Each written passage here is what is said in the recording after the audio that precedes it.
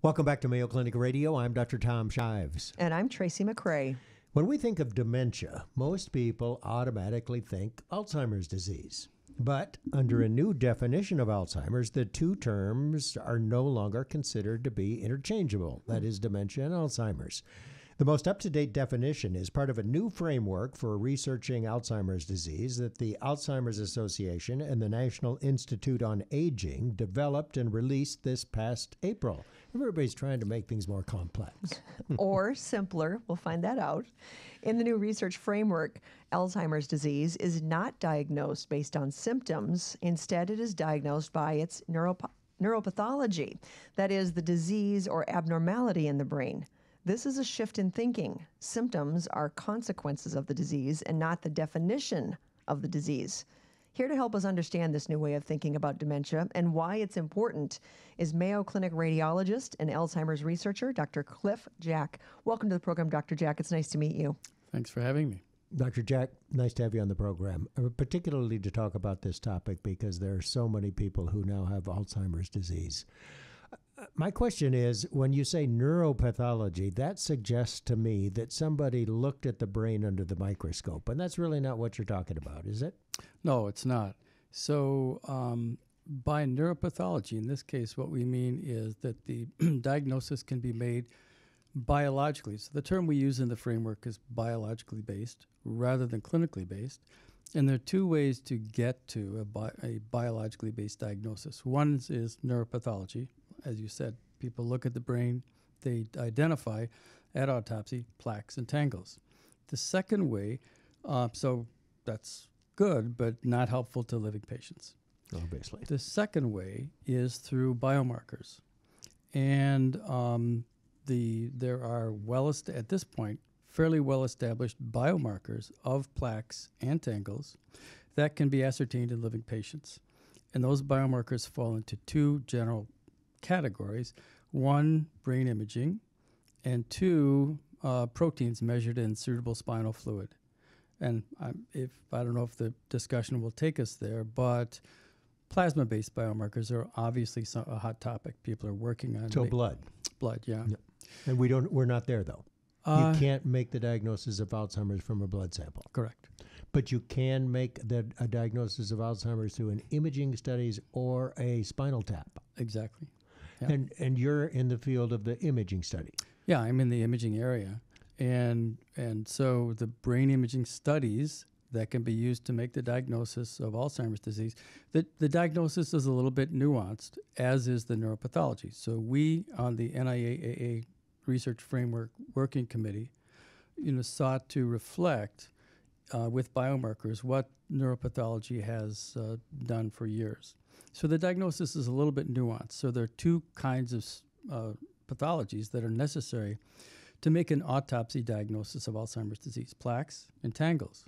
And so, consequently, there are two different kinds of PET imaging studies that are needed to make a definitive diagnosis of Alzheimer's disease in the living persons. In living persons, amyloid PET, so a ligand that binds to and reveals the presence of plaques, and tau PET, a ligand that binds to and, and uh, uh, reveals the presence of the tangles, neurofibrillary tangles. So those are the two imaging modalities. And then in the CSF area, cerebral spinal fluid area, the two kinds of proteins that are measured analogously are A beta 42, a marker of uh, uh, uh, plaques, and uh, tau, specifically phosphorylated tau, a marker of neurofibrillary tangles. So th- those are the accepted biomarkers uh, that are in use in research today, and that's how the disease would be defined in the living person. So, what does that have to do? Correlate that with what we what we our intro said is that the, you're changing the, the definition. So, dementia does not equal Alzheimer's, and vice versa. Right. So, um, it is as just exactly as you stated in the intro.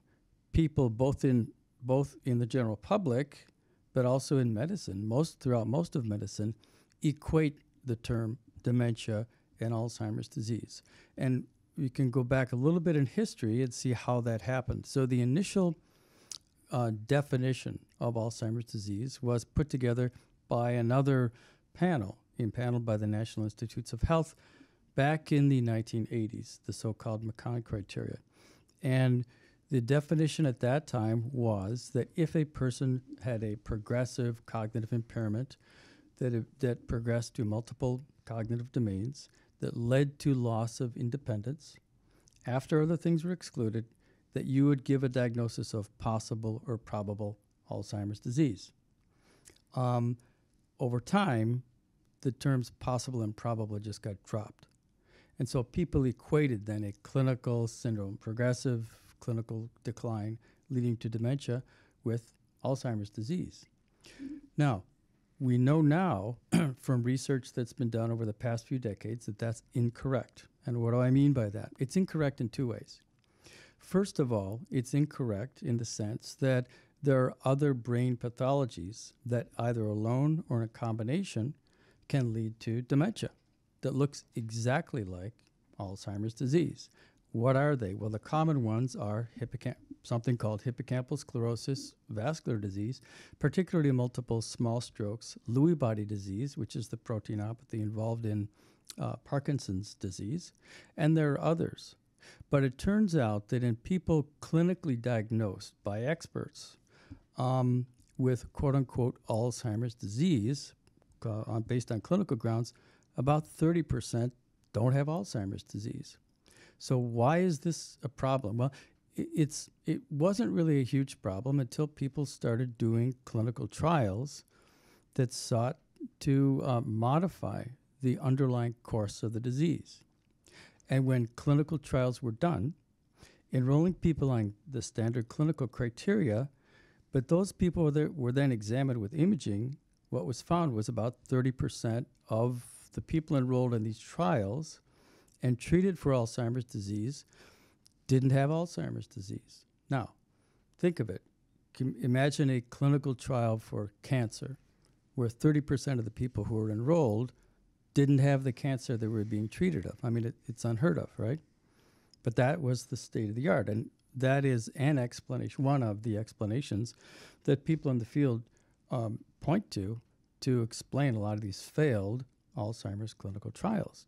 So that's one big problem, and that is the clinic, classic clinical diagnosis is not specific for the disease after which it's named.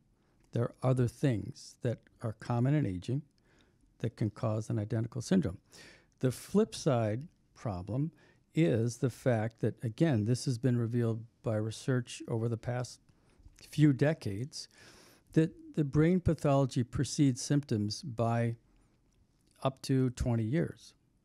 So, symptoms classically used clinically to, to define the disease actually are a late occurring event in the sequence of events that is the entire expression of the of the, that constitutes the disease. So consequently, brain pathology appears well before symptoms. It can be identified by biomarkers. And if one would like to intervene therapeutically prior to the onset of symptoms, how can you do that? Well, there's only one way to do that, and that's to identify people who have no symptoms, but on the basis of biomarkers have the brain pathology. And thus, uh, that w- would be so called secondary prevention, a secondary prevention trial. Think of any other area in medicine.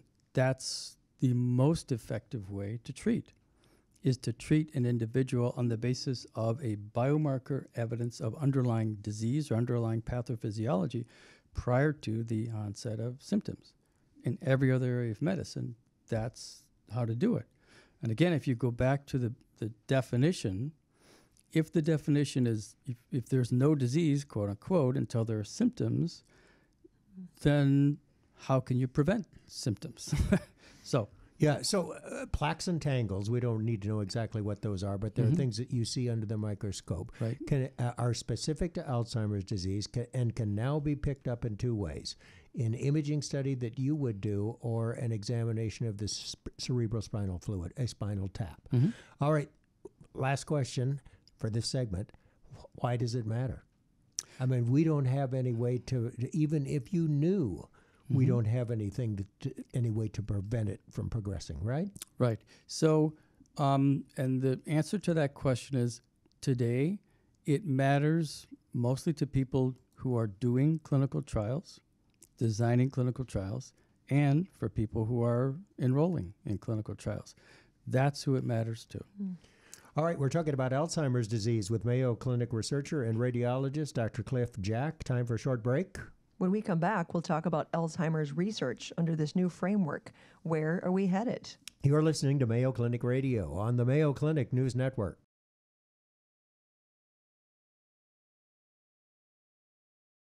Welcome back to Mayo Clinic Radio. I'm Dr. Tom Shives. And I'm Tracy McCray. We're talking with Dr. Cliff Jack. He is a radiologist and Alzheimer's researcher at the Mayo Clinic, and he has told us that there are now a couple of definitive ways to diagnose Alzheimer's disease, either through imaging of the brain or through a cerebral spinal fluid exam. And researchers are also working on being able to diagnose Alzheimer's with a blood sample, but we're not there yet.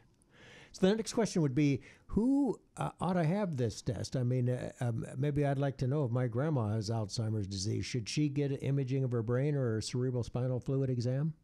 Yeah, so th- um, this is uh, an area where there's act- actually active research, and there are uh, there are sort of committees that are looking at appropriate use criteria for both of these CSF, so cerebral spinal fluid, and brain imaging. And I wouldn't say the the criteria at this point are fixed, are hard and fast, um, but I think most people most people in neurology would say that if someone who has so first let me preface this by saying um, to uh, to my knowledge certainly the brain imaging uh, agents are no one pays for them so no insurer will pay for them the FDA has cleared three of the amyloid PET ligands for for fit for purpose So the study is safe and It's answers safe. the question you want to answer. Yeah. But but no one pays for it. Um, um, I think most people would say, for example, that if someone is symptomatic and if the individual and the family wants to know what the etiology is, because again, as we discussed initially, uh, someone who meets who looks exactly like the classic clinical picture of what's called Alzheimer's disease doesn't necessarily have Alzheimer's disease. There are other things that can cause the symptoms. So, if the patient wants to know, if the family wants to know, if someone who has is symptomatic has Alzheimer's disease, then that would be someone if they could figure out a way to pay for it to have the to have the test. Much more controversial are uh, is should these kind of tests be done in individuals who are asymptomatic but who are worried. They might be worried because they feel they have a memory problem, incipient memory problem. They might be worried because they had a, uh, a first degree relative um, uh, who uh, was diagnosed with Alzheimer's disease in life. I think that's much more controversial. I th- most people would say that if you are worried but don't really have any symptoms, probably not. Um, I would say the field is probably evenly split on the second issue of if someone is is clinically normal, but they feel subjectively that they have a memory uh, worsening memory problem. Should they get tested?